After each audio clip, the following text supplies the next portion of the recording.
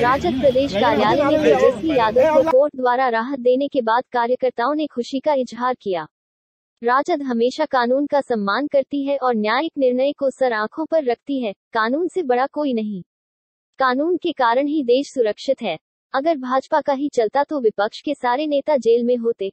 तेजस्वी यादव की बेल बरकरार होने को लेकर राजद प्रदेश कार्यालय में खुशी की लहर है। तमाम राजद के नेता, कार्यकर्ता एक दूसरे को लड्डू खिलाकर खुशियाँ मना रहे हैं। सीधे तौर पर राजद के नेताओं और कार्यकर्ताओं का कहना है कि हमारे नेता को साजिश के तहत फंसाया जा रहा था। लेकिन सत्य की ही जीत होती है, सत्य में जयते पटना से ऋतिक की रिपोर्ट।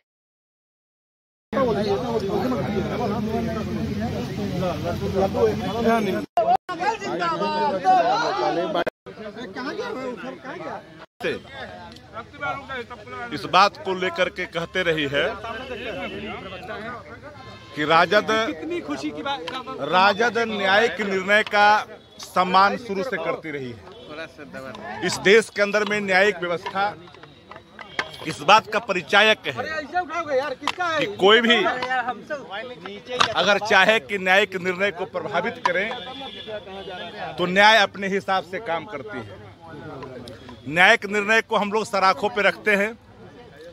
और एक बात मैंने शुरू से ही कहा है कि अगर दलों की चले और दल अपने हिसाब से करे तो विपक्ष के सारे लोग कहाँ होंगे यह बताने की ज़रूरत नहीं है। और इसीलिए न्यायिक निर्णय का सम्मान इसलिए हमने कहा, सत्य में जयते सत्य की हमेशा जीत हुई है। और उप मुख्यमंत्री तेजस्वी प्रसाद यादव जी को न्यायालय ने माना है कि इस तरह की बातें जो कही गई है वो कहीं से अपेक्षित प्रतीत नहीं होता है।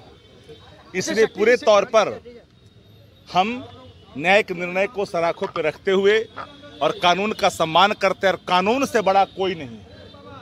इस देश में अगर कानून ना हो तो कई तरह की चीज़ें कई पॉलिटिकल पार्टियाँ जो सत्ता से अलग हैं विरोध में हैं उनके खिलाफ पॉलिटिकल मैंडेटा का इस्तेमाल होता रहेगा। लेकिन कानून कानून होता है। कानून ही देश को महफूजियत प्रदान करती है। और कानून का हम लोग सम्मान करते हैं।